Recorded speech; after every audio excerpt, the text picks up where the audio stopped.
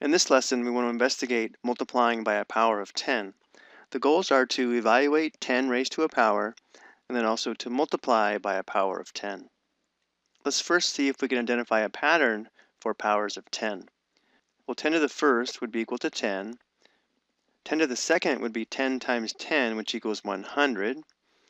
10 to the third, we'd multiply three factors of 10, which is equal to 1,000. 10 to the fourth would be four factors of 10, which is equal to 10,000, and 10 to the fifth would be five factors of 10, which is equal to 100,000. If we count the number of zeros here, notice it matches the exponent on 10. So in general, 10 to the power of n in expanded form is 1 followed by n zeros.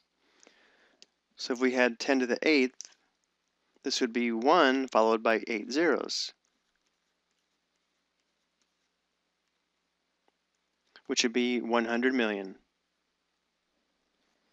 Now let's take a look at multiplying by a power of 10. 5 times 10 to the second is the same as 5 times 100, which is equal to 500. 2 times 10 to the third is the same as 2 times 1,000, which equals 2,000. 9 times 10 to the fourth would be 9 times 10,000, or 90,000. Before we discuss the pattern, let's look at two more. 14 times 10 to the second would be 14 times 100, or 1400, or 1400. And 273 times 10 to the third would be 273 times 1000. Notice one shortcut would have been to just add the number of zeros that match the exponent. Here we just added two zeros to 5. Here we added three zeros to 2. Here we added four zeros to 9, and so on. But we also want to develop a pattern that we could use when multiplying a decimal times a power of 10. For example, if we take a closer look at this product here, the decimal point on this 9 would be just to the right or right here.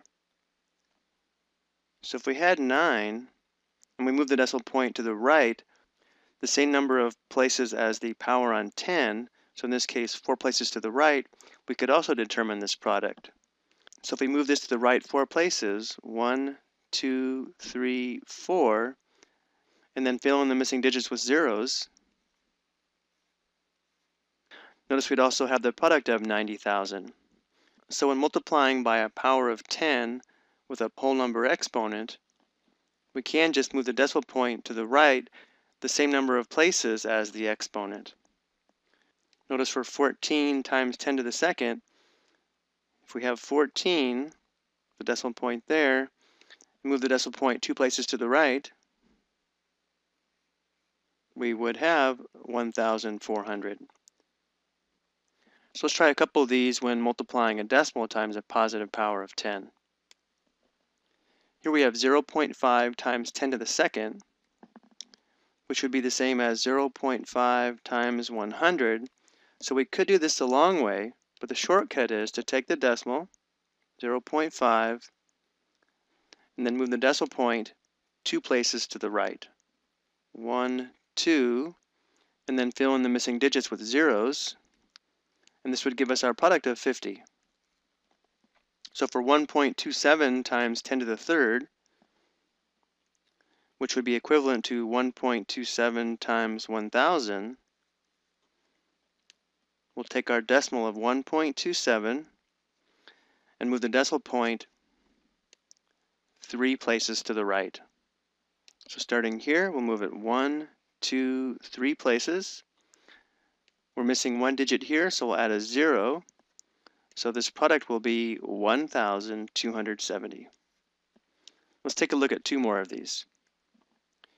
Here we have 27.34 times 10 to the fifth, which would be the same as 27.34 times 1 followed by 5 zeros. But to determine this product, we'll take the decimal of 27.34 and with the decimal point five places to the right. So one, two, three, four, five. We're missing three digits, so we'll add three zeros. One, two, three. putting in our commas here, we would have 2,734,000.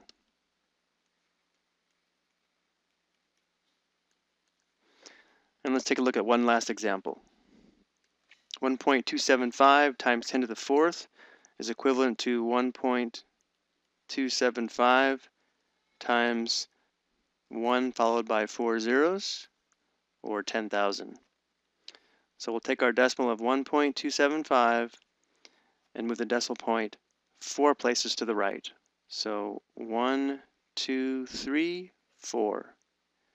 We're missing one digit, so the product would be 12,750. So this is a nice shortcut when multiplying by a positive power of 10 and the exponent is a whole number. I hope you found this helpful.